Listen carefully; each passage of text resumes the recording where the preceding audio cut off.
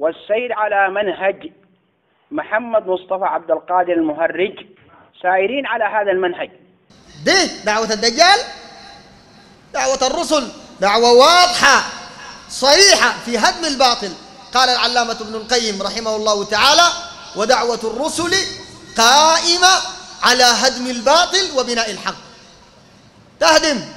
أنتوا قاعد تهدموا الباطل؟ ابن عطاء الله. الصعفوق نزار هاشم. الشلة بتاعتهم بتاعت اسمها هنا دي وين شمبات من بيهدم الباطل؟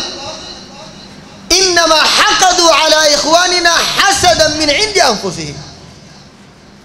أم يحسدون الناس على ما آتاهم الله من فضله فقد آتينا آل إبراهيم الكتاب والحكمة وآتيناهم ملكا عظيما. ربنا مد مدهم وأداهم من فضله ومن خيره هؤلاء الإخوة.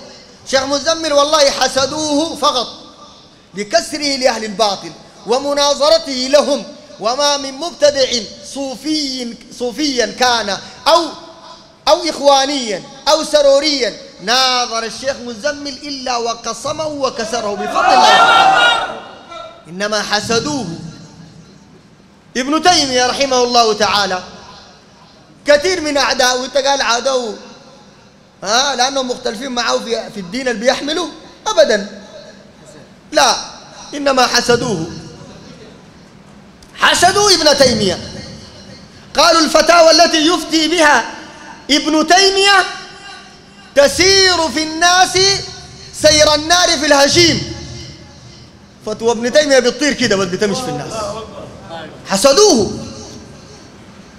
ما يختلفوا معه في في المنهج. كثير منهم ما يختلفوا معه في المنهج اللي بيدعو له لكن لما وجد من القبول راجع كتاب دعاوى المناوين وزعنا له كثير من الطلاب في المعهد. في الكتاب بيشرح في عداوة ابن الخصوم لابن تيمية. قال لما قربه الحاكم وكان محبا لابن تيمية. وعانقه أمام الناس. بقى بعانق في ابن تيمية قدام الناس. والقضاة قضاة بتاع المذاهب قدر الدنيا الواحد. قاضي. وكانوا بيحرشوا على ابن تيمية. حرشوا عليه السلطان. أسجنوا. واعمل له واحبسوا. وامنعوا من الكلام. وما يدرس. حسدا. فقط.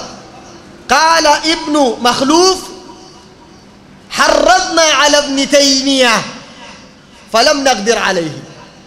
أول ما جاء الحاكم واعتنق ابن تيمية قدام الناس جاو قال له افتي في هؤلاء. أديني فتوى. إنه القضاة اللي حرشوا عليك وآذوك وسجنوك وعملوا ديل طلع فتوى. إنه أنا أقتلهم كلهم. ابن تيمية قال له لن تجد مثل هؤلاء. ودافع عنه. مع انه هم اللي ظلموه. قال ابن مخلوف حرضنا على ابن تيمية فلم نقدر عليه. قالت وتمكن منا.